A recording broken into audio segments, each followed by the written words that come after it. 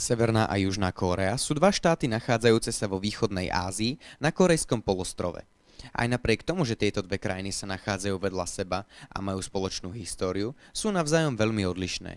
Kým sa dostaneme k myšlienke zjednotenia týchto krajín, povedzme si, prečo je vlastne Kórea rozdelená. Oba štáty naprieč staročiami fungovali ako jeden celok. Všetko sa ale zmenilo v roku 1945, keď sa na Jalskej konferencii rozdelila sféra vplyvu pozdĺž 38. rovnobežky. Južná časť polostrova sa dostala pod vplyv Ameriky a na severe vznikal pod taktovkou Sovietskeho zväzu komunistický štát. Kým v Južnej Kóreji sa aj s pomocou USA postupne formovala demokracia, do Severnej Kórei prišiel zo Sovietskeho zväzu Kim Il-sung, známy tiež ako Kim Ir-sen. Ten začal budovať Severnú Kóreu podľa vzoru Sovietskeho zväzu, ktorý zahraňal aj kult osobnosti. Ten v jeho prípade v Severnej Kóreji pretrváva dodnes. Počas a po korejskej vojne, ktorej bol Kim Ir-sen iniciátorom, nastolil v Severnej Kóreji tvrdý komunistický režim, ktorý zahrňal likvidáciu každého, kto s režimom nesúhlasí. Po jeho smrti v roku 1994 sa moci ujal jeho syn Kim Jong-il a následne po jeho smrti v roku 2011 ho v úlohe vodcu vystriedal jeho syn, súčasný Kim Jong-un.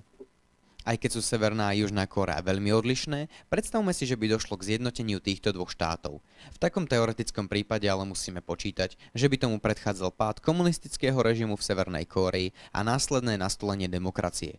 Okamžite by sa týmto krokom upokojila geopolitická situácia v regióne, keďže Severná Kórea je v súčasnosti považovaná za veľmi nevyspytateľnú krajinu.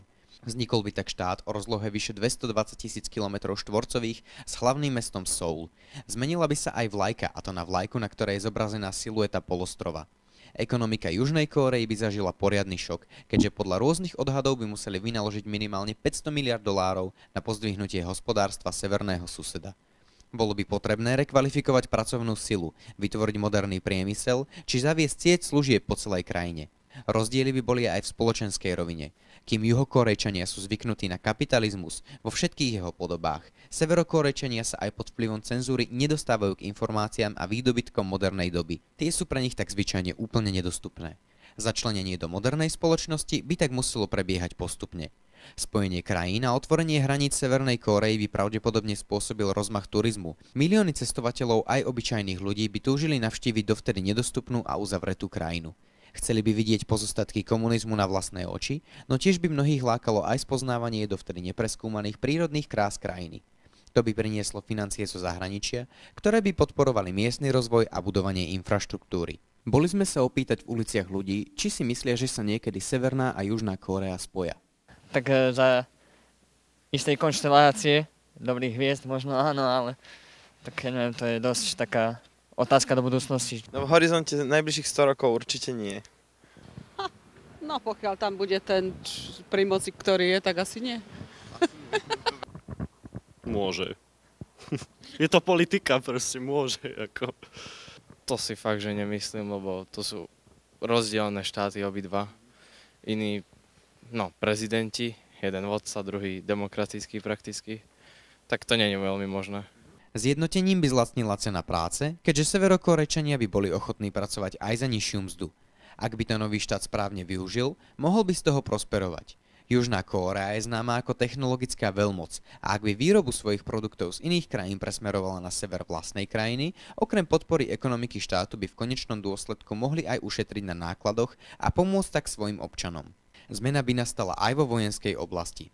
Tu by ale paradoxne aj Severná Kórea mohla niečím prispieť.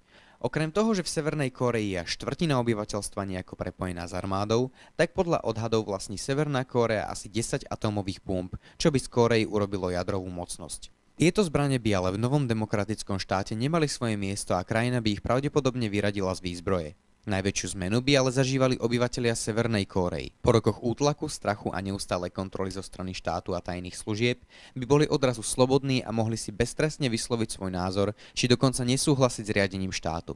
Časom, teda v priebehu desiatok rokov by sa rozdiely v krajine postupne stierali a stabilizovali a spojením oboch štátov by v tomto regióne mohol vzniknúť prosperujúci a silný štát. Myslíte si, že by toto spojenie fungovalo?